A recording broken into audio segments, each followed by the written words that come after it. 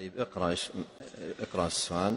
قال رحمه الله فصل فإن قيل وهل مع, وهل مع ذلك كله من دواء لهذا الداء العضال ورقية لهذا السحر القتال وما الاحتيال لدفع هذا الخبال؟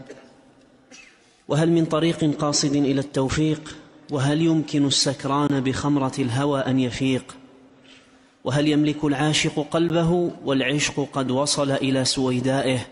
نعم وهل هذا, هذا السؤال آآ آآ قدمه ماذا قال في بدايته؟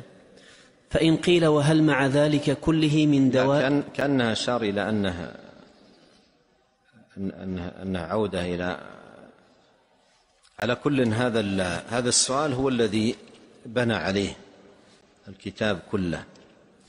شيخ الإسلام ابن تيمية تلمي...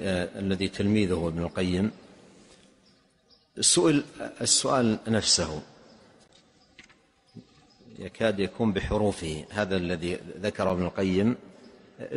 يعني نسمع مرة ثانية السؤال الذي ذكره ابن القيم ثم بعد ذلك نقرأ السؤال الذي وجه لابن تيمية وأجاب في نصف ورقة.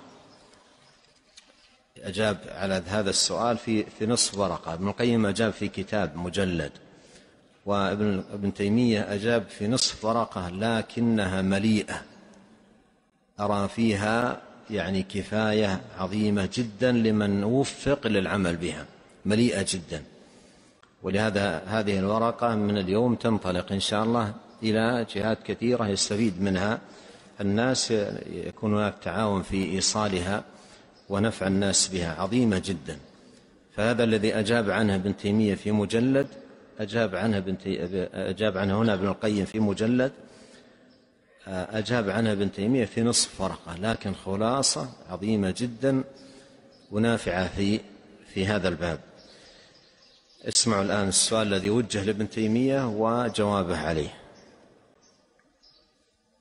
سئل شيخ الإسلام رضي الله عنه وأثابه الجنة ما دواء من تحكم فيه الداء وما الاحتيال في من تسلط عليه الخبال وما العمل في من غلب عليه الكسل وما الطريق إلى التوفيق وما الحيلة في من سطت عليه الحيرة.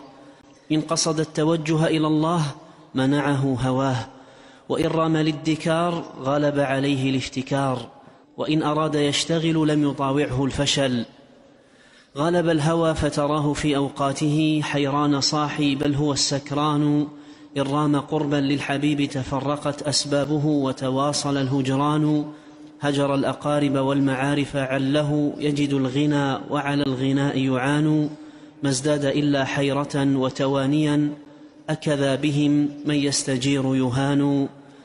فأجاب رضي الله عنه الآن السؤال الجواب يعني مختصر لكن كما ذكرت وافي ونافع جدا. نعم. فأجاب رضي الله عنه دواؤه الالتجاء إلى الله تعالى ودوام التضرع إلى الله سبحانه والدعاء بأن يتعلم الأدعية المأثورة ويتوخى الدعاء في مضان الإجابة مثل آخر الليل وأوقات الأذان والإقامة وفي سجوده وفي أدبار الصلوات. ويضم إلى ذلك الاستغفار فإنه من استغفر الله ثم تاب إليه متعه متاعا حسنا إلى أجل مسمى. وليتخذ وردا من الأذكار طرفي النهار ووقت النوم وليصبر على ما يعرض له من الموانع والصوارف فإنه لا يلبث أن يؤيده الله بروح منه ويكتب الإيمان في قلبه. وليحرص على إكمال الفرائض من الصلوات الخمس بباطنه وظاهره فإنها عمود الدين ولتكن هجيراه لا حول ولا قوة إلا بالله العلي. نعم. نعم. ولتكن هجيراه هجيراه ولتكن هجيراه لا حول ولا قوة إلا بالله العلي العظيم. يعني يكثر منها مثل ما في نعم. الحديث أكثر من لا حول ولا قوة إلا بالله.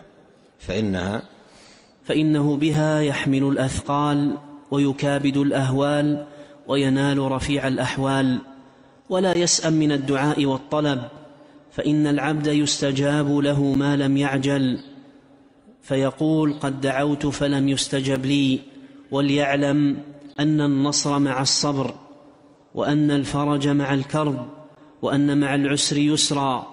ولم ينل أحد شيئا من جسيم الخير نبي فمن دونه إلا بالصبر والحمد لله رب العالمين. هذا الجواب جواب عظيم جدا وهو مع وجازته واختصاره فيه وفاء وفي شفاء وفي كفاية. وأنصح بأن ينشر على نطاق واسع جدا ينفع الله سبحانه وتعالى به. عباد الله وخاصة المبتلين الذين هذا سؤالهم وهذه حيرتهم وهذه آلامهم وهذه رغبتهم في الفكاك من الذنوب والخلاص منها نسأل الله عز وجل أن يوفقنا أجمعين لكل خير وأن يجعلنا مفاتيح للخير مغاليق للشر وأن يهدينا ويهدي لنا ويهدي بنا وأن ييسر الهدى لنا. سبحانك اللهم وبحمدك أشهد أن لا إله إلا أنت أستغفرك وأتوب إليك. اللهم صل وسلم على عبدك ورسولك نبينا محمد وآله وصحبه. جزاكم الله خيرا.